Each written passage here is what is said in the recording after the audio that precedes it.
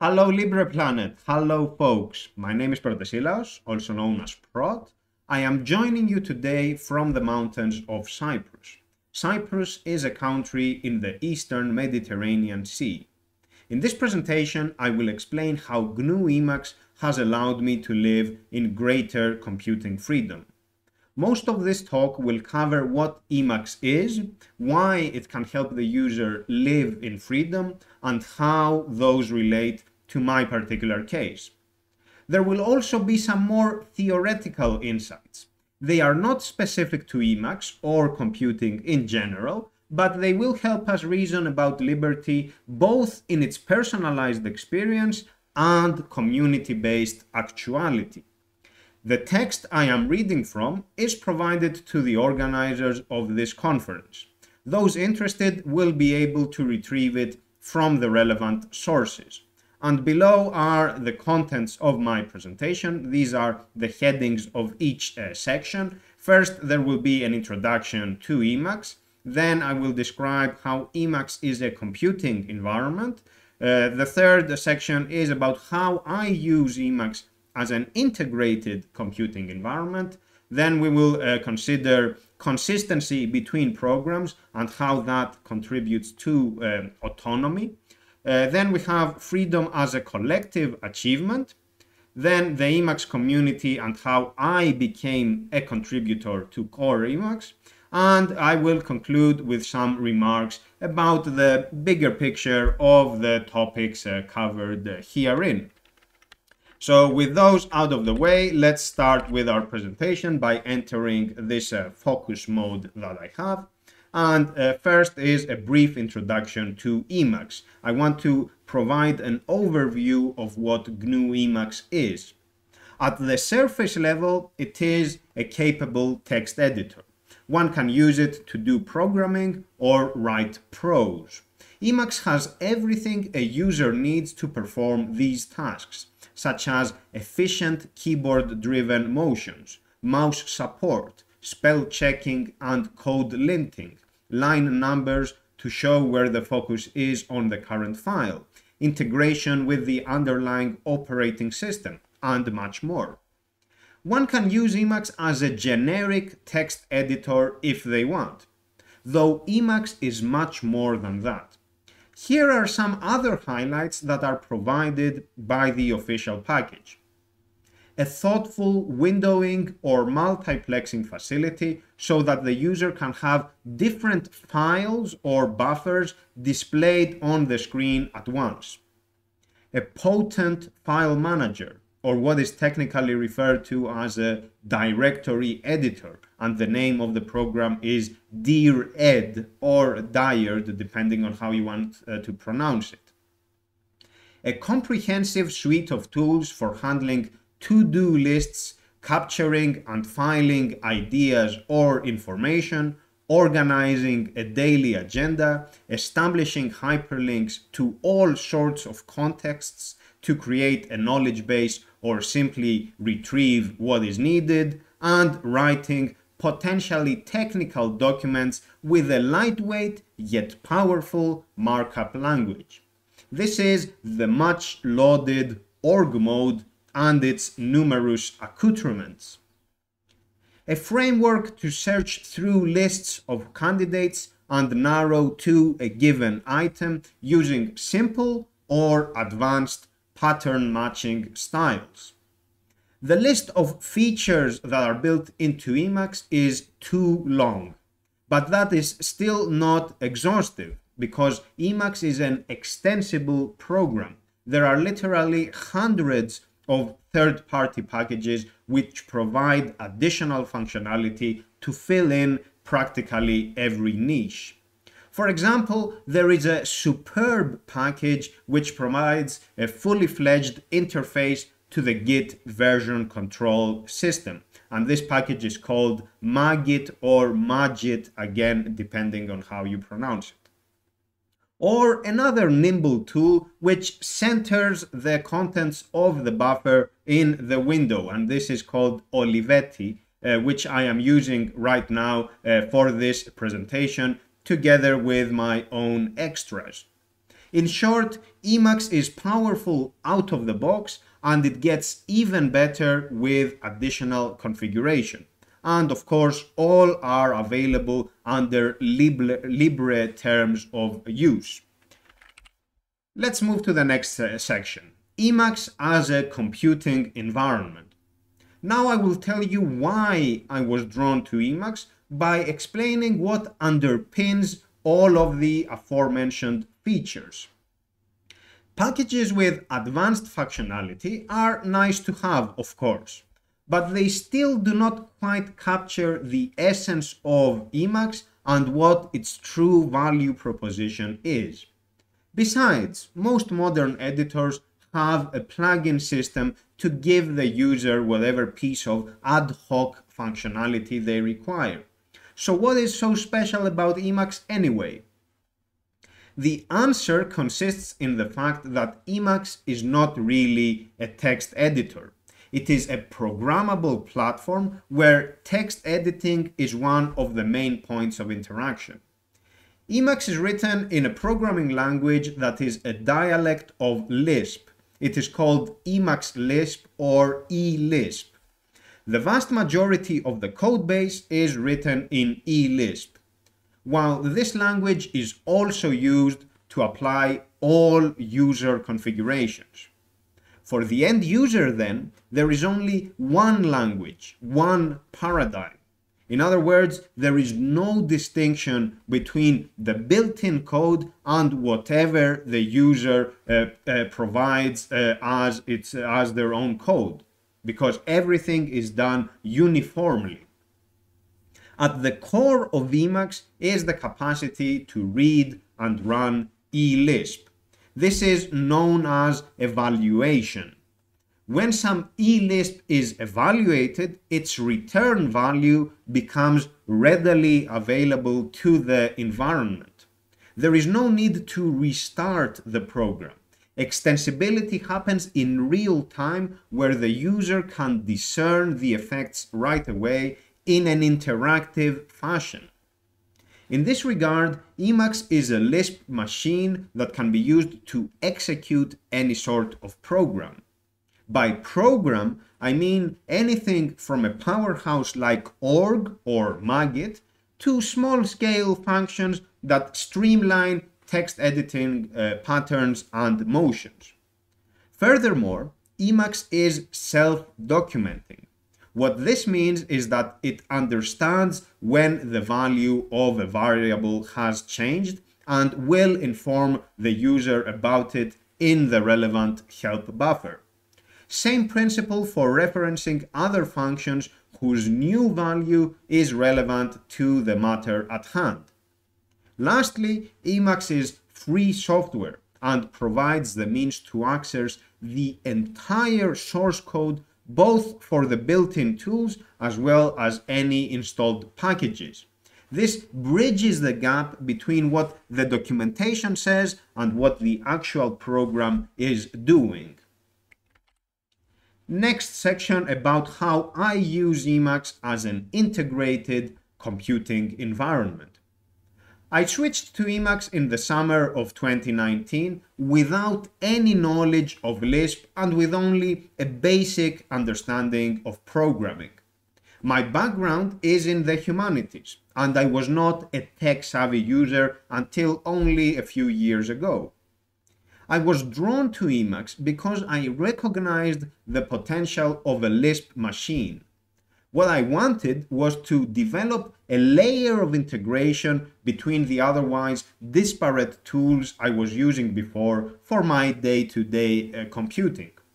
I wanted a consistent theme, precise typography, the same set of motions or patterns of interaction for everything.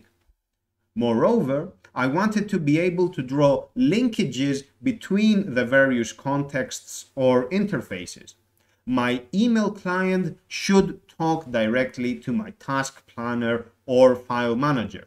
The configurations that apply to prose should also be usable for programming and the like.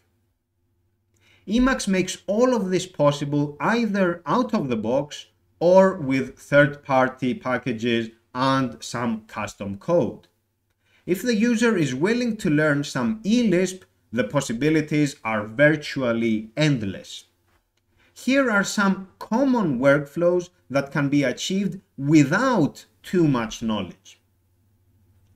Use the completion framework to run an asynchronous search for file contents, so a grep command. Put the results in a dedicated buffer and edit them in place. The changes will be propagated to all the affected files without you ever having to visit those files one by one. This is simply fantastic.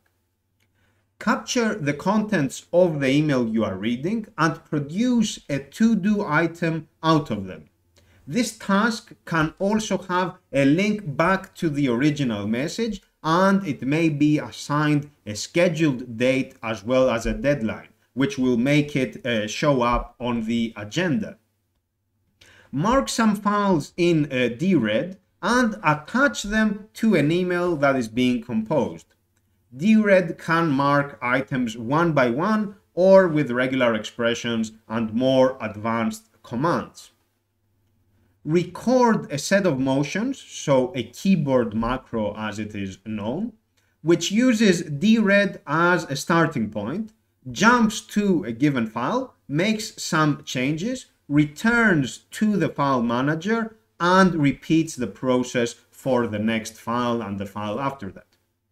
In all of those cases, the user does not need to learn something new. For instance, keyboard macros are the same everywhere. Same principle for all the other pieces of functionality. They can be used on their own yet they also work in concert. Emacs thus makes it possible to connect the various interfaces without any of the friction that context switching causes. Continuing with this uh, theme, this ultimately is about ease of use and simplicity at scale. For example, I use my own custom code to do this presentation. It takes a section of uh, the document and narrows the view to give the impression that this is a pre-built slide. It is not. This is ordinary text that I can edit right now, though I won't do it because it doesn't really matter. Take my word for it. So I am actually using a general purpose and minimalist focus mode, which is equally useful for presentations, reading, writing, and programming. Because I do everything inside of Emacs, I only have to implement this once. I don't have to have a bespoke focus mode for my email client, then another for my text editor or, or text uh, processor, a third for my agenda planner, and so on. Also, I don't need separate tools for writing and presenting my text. It's one and the same, nice and simple. Add to this the fact that the underlying configuration is all done in eLisp, which further contributes to the streamlining of the overall result. Whereas before switching to Emacs, I had to use different uh, paradigms and or languages for each application. For instance, Thunderbird and LibreOffice have their own settings menus that do not talk to each other. Mutt, uh, the email client, has another way of being uh, configured. Vim, Vim, sorry, yet another. Tmux, another one the terminal emulator has its own, and so on for practically every other application. This is not to say that each of those applications is bad per se. What I am suggesting is that their combined use, their gestalt form, is not optimal. The user has to go to great lengths to piece together a system out of all those silos of functionality. And even with great effort and all sorts of possible hacks, the result will still leave something to be desired as those programs do not share a common platform and do not speak the same language. figuratively and literally. Whereas with Emacs, every new package automatically gets what all the other packages already have, such as the same font configurations and theme, a common set of motions and patterns of interaction, and so on. We then get the network effect that engenders emergent workflows. Everything that happens inside of Emacs partakes in the same environment. All contexts are potentially interconnected, and one may draw linkages between them at will. This does not involve fragile workarounds. Integration and the singular experience of consistency it yields is at the center of the value proposition of Emacs. Next section about consistency and autonomy.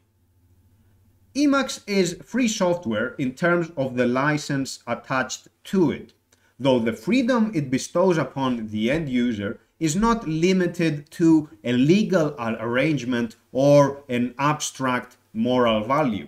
There is a practical aspect to it, which is the integrated computing environment I, I just uh, outlined. The extensibility of Emacs empowers the user to make their computer do what they actually want for a broad range of tasks, while the uniformity of eLisp lowers the barrier to entry, especially if we contrast it with the multifaceted corpus of knowledge one needs to possess in order to piece together applications with no shared basis. Which brings me to the theme of this year's LibrePlanet about living in freedom. We want to appreciate liberty in its quotidian, in its everyday manifestation, as an expression of agency in the here and now. In this regard, Emacs is a tool that we use to minimize the distance between what we think and what the computer renders possible. Freedom of software is about ownership of the means of computing. It enables the development of autonomy within this space in the original sense of the word autonomy as self rule. We have autonomy when the tools we use do what we want, instead of having their own hard coded telos, or worse, being employed in the service of an entity that operates outside our control. In practical terms, I always found the lack of integration between the various applications I was using to be somewhat problematic. I felt like I was not getting the most out of my rights, as I, as I could not make my tools do exactly what I wanted. Consequently, I was experiencing the seemingly paradoxical case where an assortment of free software applications was not leading to the maximization of my autonomy. The emergent reality was not as good as the sum of the parts. The inconsistencies between those programs, or else their heterogeneity, was not working in my favor. Even though I was getting the maximum freedom uh, on paper, the actual outcome was only one of partial autonomy, an autonomy manquée, or else the unfulfilled promise of liberty.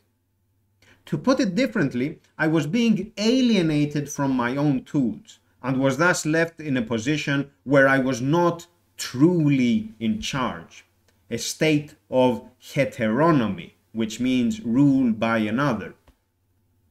With Emacs, I managed to remove this heterogeneity and its resulting heteronomy from my everyday computing. Now I use Emacs for almost everything to read and write, manage my files, organize uh, my task planner, deal with email correspondence, handle my music collection and playback tracks, browse the internet, and so on. All contribute to the singular experience I alluded to earlier, this experience of consistency. The rare exception is when I have to use a graphical web browser, but as I said, this is a rare uh, exception. Continuing with this theme of consistency and autonomy. The general insight here is that freedom has two aspects to it the nominal and the substantive. The former is about the license attached to the code, while the latter pertains to the code in vivo, in practice, in reality, how it can be used and how it relates to other programs in a given environment or as part of a wider workflow. I believe this has to make us reason about software freedom in the expanded sense. Consider code correctness, composability, and extensibility as attributes of a program that together contribute to its emancipatory function in practice. We want the substance, not mere conformity with legal requirements. Consider the case of a program that comes with no documentation whatsoever and is written in a way that makes the code uh, difficult to read. It has a liberal license, but is otherwise not helping the user experience autonomy. The inner workings of the program make it hard for the user to understand what is going on. In my experience, this is not sufficient for living in freedom because living in freedom involves experiencing it. And experiencing is not limited to what a document says about the applicable copyright terms. What Emacs has taught me, indirectly or perhaps inadvertently, is that our focus as a community must be the end user. We do not want to have read code that is operated by powerless users. Instead, we want to teach the user how they may assume stewardship over their own means of computing. Free software must not be a mere alternative to proprietary code. It must incentivize a shift in attitude towards autonomy, towards self rule we should strive to educate the user through the design of the program that they can use what is offered to them in a way that makes sense for them and not just for the developer or uh, provider of the software. Little by little, step by step, the user will learn to seek freedom in everything and assume the requisite responsibility. The intent is to liberate the code from the familiar fetters of copyright in order to give power to the user. The code itself is not the final goal. As such, we must not limit our free software contributions to a formulaic copying file that accompanies some source code.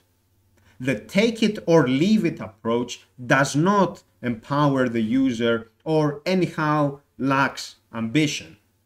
It is of paramount importance to make the program as accessible, configurable, and well documented as possible. Then we have both an excellent program and one that is conducive to the cause of freedom. The ideal must then be to provide points of entry so that all programs can be made to work in tandem. The best outcome is for the user to be in charge of the entirety of their computer and for everything to behave as part of a greater whole. Now, some more uh, theoretical remarks about freedom as a collective achievement. If we discern the common in the multitude of all freedoms and concomitant rights, we find that freedom is twofold. the capacity for initiative, and the absence of control. The first requires that the agent can act, while the second entails that the impetus uh, for this uh, action is not provided, framed, or otherwise influenced by another agent. Action necessarily involves an agent and a patient, or what we have in grammar as the subject and uh, object of a verb. For our purposes, human action affects other humans or species. Thus, what is possible as just action in this case is whatever does not create a form of control and does not deprive others of their initiative. Put differently, freedom has a social aspect to it, and by extension, ethics belong to the field of politics in the broader sense. There is no action in a vacuum, and thus no qualitative aspects to be discerned thereof. Freedom is thus realized through the collective. The individual is but a part of the bigger picture. The realization of freedom is a function of what the collective enables through the rules it establishes and upholds. These can be laws or norms of conduct with varying scopes of application. Freedom is thus instituted as such. Humans enact and substantiate it. As with the case of the free software program that needs to work for the end user's autonomy, so freedom in general is not simply what some charter of fundamental rights declares. There has to be a culture in place. The members of the collective must recognize each other's capacity for initiative and must try not to impose any arbitrary uh, controls uh, over that initiative. In short, we cannot have freedom simply by stating the rules. We must also educate the people to cherish and champion liberty, which is also why conferences such as this one are important as they raise our community's self awareness while bringing forth ideas and information that are worthy of our common objectives. We already know about the essence of freedom and its actuality as a collective achievement through our participation in the free software community we understand that every contribution we make or benefit from is made possible by the work of others. We are aware of the fact that none of us can enjoy computing freedom as a decontextualized individual. No single person holds all the knowledge that goes into a computer and all of its programs no one person can ever acquire such knowledge uh, that is not communicated in some way. And communication here implies interpersonal affairs, or else the presence of the others beside the self. So ask yourself, who am I without the community? The answer is not much, not enough. Next section, the Emacs community and how I became a contributor to Core Emacs. Since my talk involves Emacs, we too have our own community. By and large, it welcomes newcomers and is eager to disseminate whatever knowledge it holds. The most obvious way the community helps the user live in freedom is with the lofty expectations it maintains about the quality of a package. All decent Emacs packages come with detailed documentation and they provide multiple options for the user to configure things to their liking. The Emacs community recognizes that it must not impose controls over the end user's capacity for initiative. Hence, the extensibility and customizability of all the relevant code.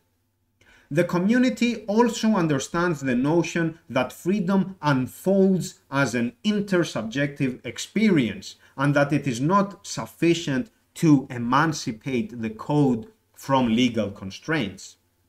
As such, Emacs users promote a strong documentation culture where every eLisp form has to explain in ordinary language what it does and every package must provide instructions on how to use and configure it.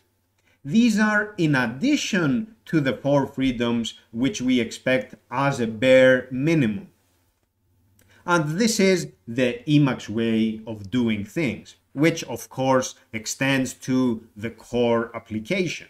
The very design of Emacs as a Lisp machine empowers the end user, since everything is subject to evaluation anew. For example, I started learning eLisp by writing my own uh, little wrapper functions that tweaked how some default motions uh, would behave. I wanted to have a complement to the move down a line command where it would automatically move down 15 lines. Emacs can evaluate code live and as I said, it grants access to the full source code as well as the relevant documentation. I was thus able to learn how a function is defined and then through trial and error write my first custom uh, eLisp. I continued tinkering with Emacs to implement various uh, tweaks or micro optimizations that made sense to me. In the process, I learned to use eLisp and equipped with that newfound knowledge, I was able to do practically everything I wanted with Emacs. Over the past two and a half years, I have written thousands of lines of uh, eLisp and have made several contributions uh, to uh, the Emacs community and to core Emacs as well, including a pair of comprehensive, highly accessible, and customizable themes uh, called the Modus uh, themes. And right now I am using the light uh, variant, which is uh, named modus operandi. To put it in perspective, I learned more about programming in my initial three months as an Emacs user than what I had gathered in the three years uh, prior to that uh, as a member of the free software community uh, from the day I first uh, switched to a GNU slash Linux uh, operating system in mid 2016. This, to me, is the best example of catering to the needs of the end user.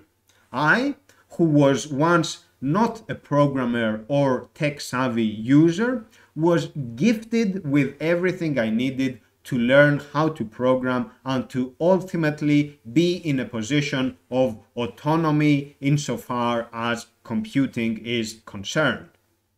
The rest is the hard work I put in uh, by doing things from scratch. So, the final uh, section and some concluding remarks about uh, considering the bigger picture. Living in freedom demands that we broaden the scope beyond the narrow confines of the individual and also transcend the technical requirements of any one legal institutional architecture to consider the context holistically. The context of how the program is used as part of a workflow. The context in which a user joins our community and wishes to learn from the wealth of knowledge on offer.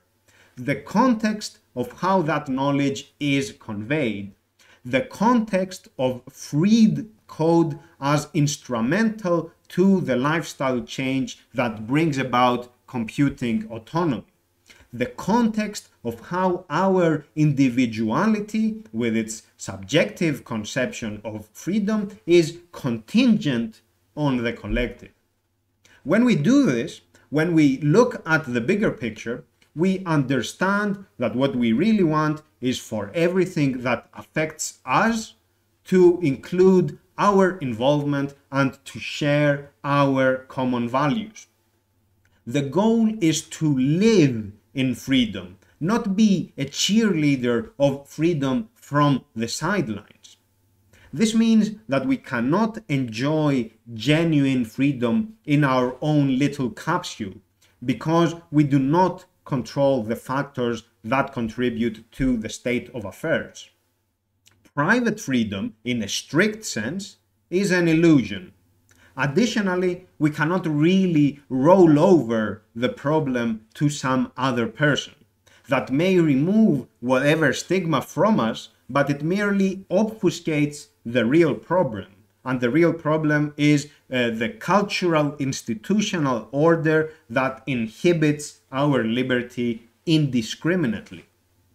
To remove the stigma is to engage in role playing, where you claim to be holier than others, even though the prevailing conditions remain illiberal. Living in freedom, be it in the computing space or generally, implies that we cannot afford to make tokenistic decisions. Each of us is free when the community delivers freedom, when the collective institutes freedom as such. Liberty is intersubjective. It will remain incomplete for as long as some are ostensibly more free than others. In conclusion, there is an anti imperialist Greek song that was recorded in the 1980s and remains as relevant as ever. Alas. I feel it expresses a profound insight, uh, insight in its uh, chorus, and that is I fear everything that will be done for me without me. And you can check the annex uh, to this presentation for a faithful translation of this uh, song's uh, lyrics. On this note, I wish to thank you very much for your attention. I also want to express my gratitude to the organizers and volunteers of this year's edition of Libre Planet. That's all for today. Goodbye, folks.